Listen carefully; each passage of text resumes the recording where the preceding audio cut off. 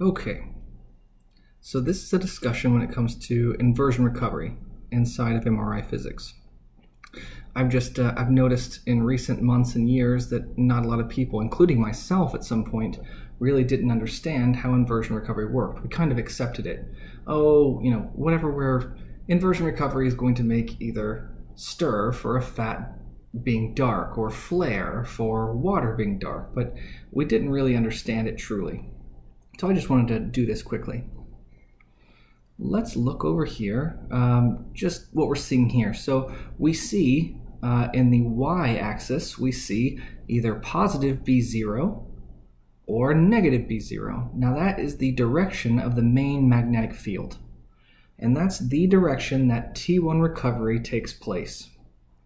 Now remember, only things that have a certain or any kind of positive or negative amounts of T1 recovery can be manipulated by inversion pulses or excitation pulses. Okay, so excitation pulses and inversion pulses only affect things that have either a positive or a negative amount of longitudinal magnetization. Now we know that the only way that we can actually be able to excite um, and measure signal is when it's at some sort of it is inside of the transverse plane. But in this case, we're talking specifically about T1 recovery. And let's just look at a sequence here. So in this case, there we go. So we see, let's just focus on the bottom here. We see that in any inversion recovery, a sequence starts with a 180 degree inversion pulse, and then it um, has a certain time between the 180 degree inversion pulse and the 90 degree excitation pulse. And then it's going to have the normal, as you know, assuming it's a fast spin echo, it's going to have a, a train, an echo train of 180 degree refocus impulses. And so you'll see anytime you're doing a fast spin echo, anytime you have a 90 and a 180 degree pulse, you're going to generate a spin echo. And so we're going to have different echoes that are happening at different TEs or distances from the 90 degree excitation. But that's a different uh, discussion. Just giving you an idea. Now, the distance between 100, one 180 degree inversion pulse and the next one, that is our repetition time. And our repetition time, really at its core, is how much T1 recovery time we are allowing in between either excitations or inversions in this case. Okay, so when I first put a person on a table, or if I have a you know have a really long TR or something that I've allowed, uh, in this case we have two tissues, tissue X and tissue Y. They could be anything.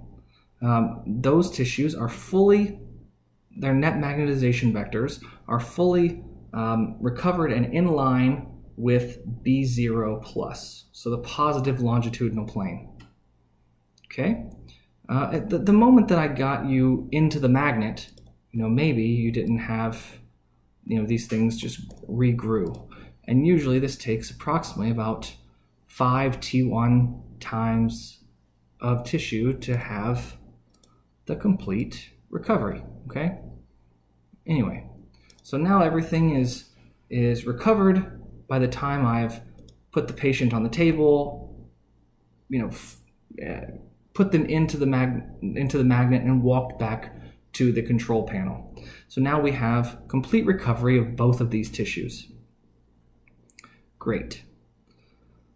Um, and what these tissues are going to do when I put a 180 degree inversion pulse in them, they are going to, they're not going to turn like this per se they are actually going to, we're going to put in a 180 degree inversion pulse, and they are going to flip into the negative longitudinal plane, B0 negative. And what we're going to do is, and each one of these tissues are going to recover at different rates because what they're going to do is there it's always easier to uh, go with the main magnetic field the direction think of it as it's it's easier to swim with the flow of a river instead of oppose it. And so you'll see all of these tissues are going to um, they're going to lose negative magnetization cross what's called this null point and regain this positive longitudinal magnetization if we give it enough time. And thank goodness for all of us that work in the field of MRI is that these different tissues recover at different rates, which is the reason why we all have jobs. So let's go over here and let's look at this 180 degree inversion pulse. So that's exactly what's happened here. We have had everything started out up here, but the moment I gave it a 180 degree inversion pulse, then these two types of tissue are now fully in the negative B0 plane. Okay, and a lot of people think that just giving a 180 degree inversion pulse is enough to make a tissue dark. So for instance, if we're doing a stir, we want fat to be dark. If we're doing a FLAIR, we want fluid to be dark, right? Fluid attenuated inversion recovery. Um, but a 180 degree pulse is not enough. Because remember, if you remember what I was saying before, only the things, only the tissues that have uh, either a positive or negative amount of longitudinal magnetization will be affected, in this case, by the next pulse, which is the 90 degree excitation pulse. So in this case, we've just checked in with these two tissues right after they've both been exposed to the 180 degree inversion pulse. So both tissues are, are completely in the negative B0 plane which is what we see here. But instead of really focusing on, on both just right now, let's just focus on a single tissue. So in this case, we will focus on the, the tissue Y. I don't know. So this 180 degree inversion pulse has allowed and has flipped this um, tissue into the negative B0 plane. So it, it, it has 100%, or in this case 100%, recovery in the negative B0 plane. And what it's going to start to do, just to give you an idea, over time it's going to get less and less and less and less, and it recovers at its own rate. And then it's going to, right here, that's this null point. Right here is where if we excited right either you know right here or right here or right here or right here there's going to be a very low signal intensity uh, inside of this specific tissue. And, and and that's where our correct inversion time really comes in. So let's just look at this one tissue. So right now I have this one this one tissue and it's in the negative B0 so it still has a ton of longitudinal magnetization. It just has negative longitudinal magnetization and it will begin to recover. And so this is what we see here. So um, this in, in the in the x-axis here, we see you know this is just time. So what starts out as full negative longitudinal magnetization starts to lose, lose, lose, lose, lose until ultimately there is either very little positive or negative, or no positive or negative longitudinal magnetization. The idea here is that if we have this inversion time correct, we have a space between this 180 degree inversion pulse and the 90 degree excitation pulse.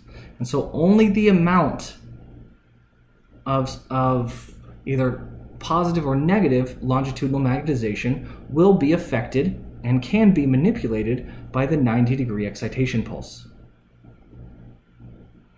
And so something else to keep in mind is that, so let's say we have a 180 degree inversion pulse. If we are slightly too early or slightly too late, we will still have the same amount of magnetization. So in this case, if we're looking at uh, slightly too early in terms of our of our inversion uh, our inversion time or TI, uh, at this point, the 90 degree excitation will only flip. It won't flip all of this longitudinal magnetization. It'll only flip the small amount of longitudinal magnetization into the transverse plane and measure it.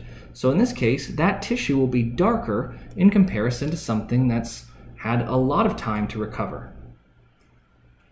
Same thing here. It would be the exact same signal intensity so long as we're not being sensitive to the the um, the direction within the transverse plane. So that would be called phase sensitive, which we're just talking about magnitude reconstruction at this point. So you'll see here, both of these areas, they're both equidistant from that null point that we're calling it. And so either if it has a negative longitudinal magnetization or if it has a positive longitudinal magnetization, those will result in the same signal intensity because both will be uh, manipulated by that 90 degree excitation and be flipped into either, uh, both will be flipped into the transverse plane. these aren't perfect, but something like that. They should be the same. And so, so let's just let's just look at some examples here. So in, in, in this case, we had something that was either slightly too short or slightly too long, but those would still result in a tissue that is dark on purpose because it doesn't have all of this recovery that's occurred, right? Um, the 90 degree excitation pulse would not be affecting a large amount of you know, a, a tissue that's had a chance to recover. But this is what we're, we're showing here. So if I did have a 180 degree inversion pulse and I waited too long of an inversion time for this tissue, or maybe this is the desired intensity that I want my tissue to be. There's really no correct answer.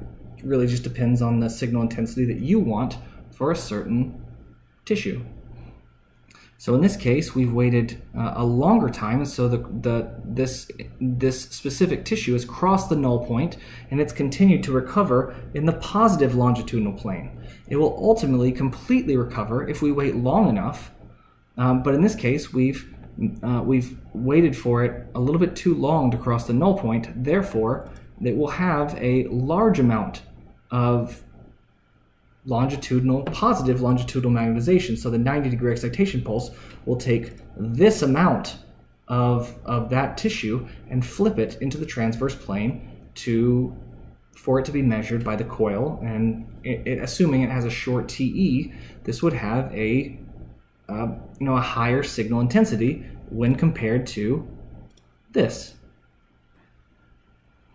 But it's it's not just that simple we have in this case now we're taking it back to remember we had the we had the the, the original the green and the blue so each one of those thank goodness recover at different rates and that allows us to have different signal intensities for those different tissue types and so each one of these tissues in this case you know x is the green and y is the blue it, they both recover at different rates. And so if I wanted to make sure that the signal intensity, in this case of the green, so of, of tissue X, uh, was really, really dark, I would want to wait this inversion time.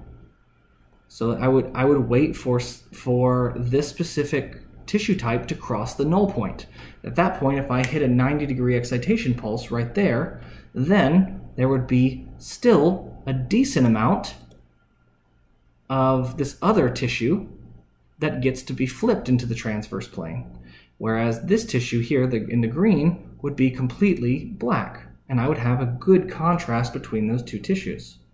However, if I wanted to make sure that the blue tissue, tissue Y, is the tissue that is really, really dark, I would want to wait this inversion time. So from a longer time for from the 180 degree inversion to the next 90 degree excitation.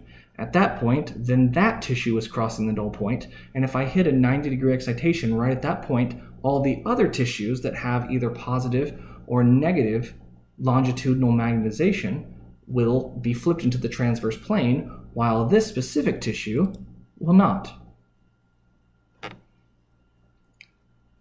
So that is the overall premise of T1 recovery uh, when it comes to inversion recovery.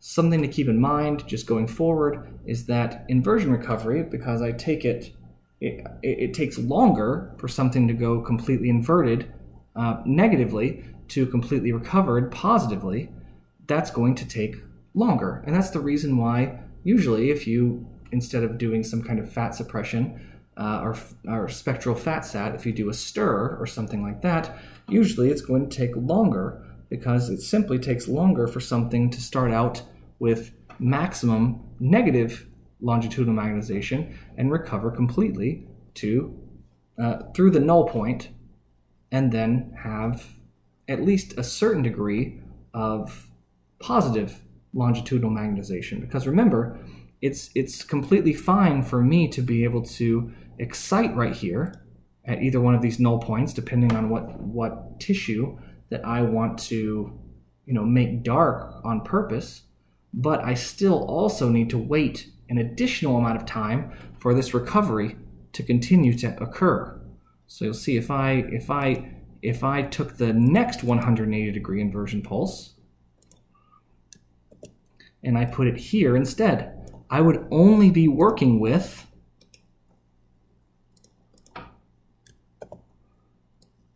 this much amount of tissue X. And in this case,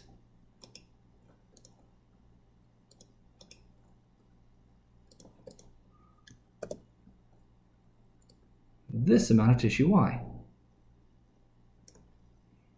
So sometimes we wait a longer amount of time to allow for full recovery of tissue X and tissue Y.